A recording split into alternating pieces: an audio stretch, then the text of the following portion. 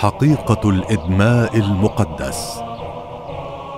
الإدماء أو ضرب الرأس وخدش الجسد.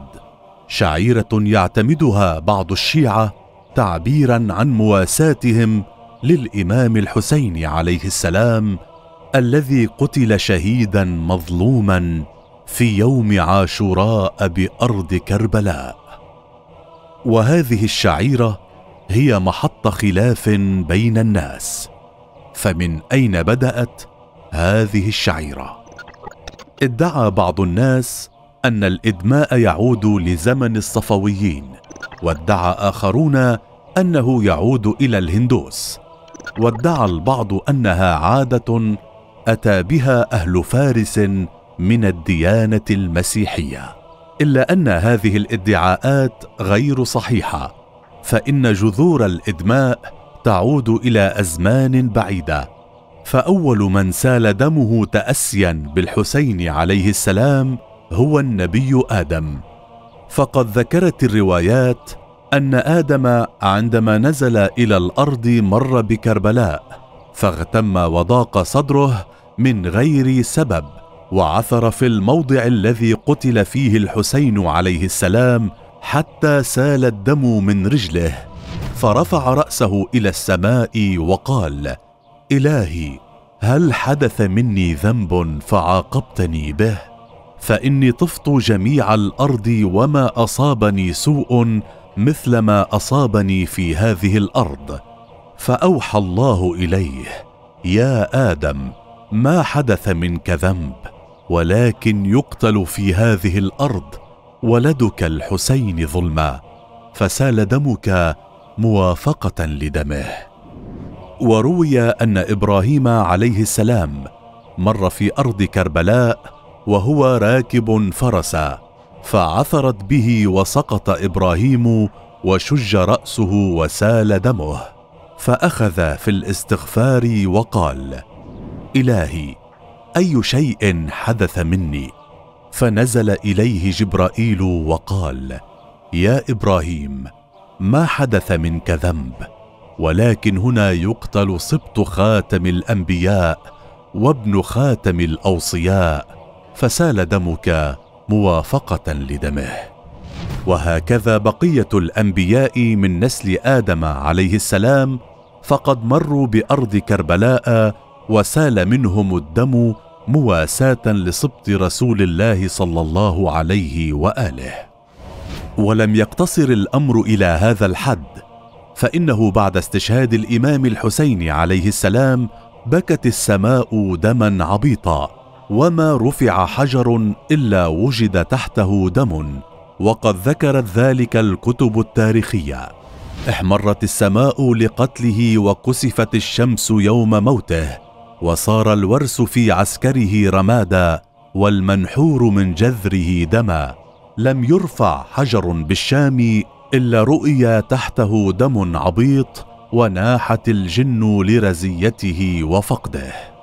وقد تعددت الروايات حول أولئك الذين جزعوا على الإمام الحسين ولطموا الرؤوس وخمشوا الوجوه حتى سال منهم الدم. الرواية الأولى بعدما خطبت السيدة أم كلثوم خطبتها الشهيرة في الكوفة ضج الناس بالبكاء والحنين والنوح ونشر النساء شعورهن ووضعن التراب على رؤوسهن وخمشن وجوههن وضربن خدودهن ودعون بالويل والثبور وبكى الرجال.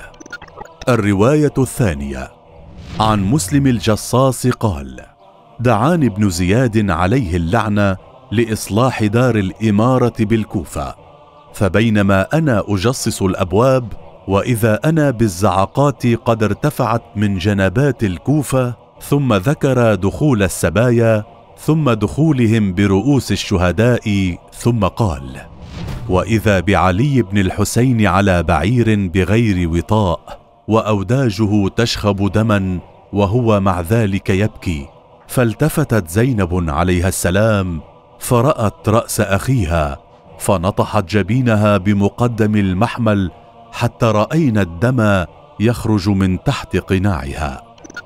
الرواية الثالثة لما سمع علي بن الحسين عليه السلام سقوط الرأس في حجر الجارية الحسناء قام على طوله ونطح جدار البيت بوجهه فكسر أنفه وشج رأسه وسال دمه على صدره وخرج مغشيا عليه من شدة الحزن والبكاء. الرواية الرابعة لما وصل الجيش البصراوي كربلاء بقيادة الصحابي الجليل صعصعة بن صوحان سمع مناديا من عشيرة بني أسد ينادي قتل الحسين وصحبه. فسألوا عن قبر الحسين عليه السلام فقيل لهم هذا فانكبوا على تراب القبر يبكون ويضربون بأيديهم على رؤوسهم وصدورهم حزنا وحسرة على استشهاد الحسين عليه السلام. ثم رفعوا سيوفهم من أغمادها وضربوا رؤوسهم بالسيوف حتى سالت دماءهم واختلطت بتراب قبر الحسين عليه السلام. وكانت هذه الحادثة بعد مقتل الإمام الحسين عليه السلام بتسعة أيام. الرواية الخامسة. قال الإمام الرضا عليه السلام إن يوم الحسين أقرح جفوننا وأسبل دموعنا وأذل عزيزنا بأرض كرب وبلاء. أورثتنا الكرب والبلاء إلى يوم الانقضاء.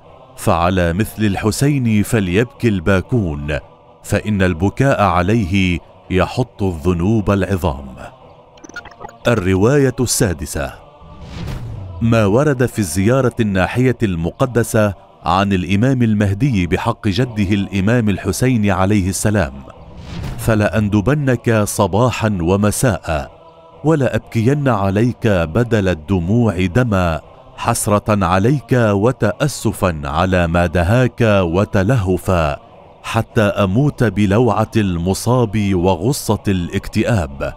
وجريان الدم من عيني صاحب الزمان عليه السلام لأشد إيلاما وحرقة من إدماء الرأس والظهر بالسيوف والزناجيل. هل الإدماء جائز أو محرم؟ وضع الأئمة الأطهار عليهم السلام قاعدة أساسية لشيعتهم. كل شيء هو لك حلال حتى تعلم أنه حرام بعينه فتدعه. كما أن قول المعصوم وفعله حجة علينا في أخذ الحكم الشرعي. فإذا ما فعل المعصوم فعلا ما فيعتبر هذا الفعل جائزا. أما إذا نهى عنه فيعتبر هذا الفعل غير جائز. وبما أنه لم يرد عن أهل البيت عليهم السلام أي نهي عن الإدماء في الأمور المتعلقة بالشعائر الحسينية فهو في الحكم الأولي مباح وجائز.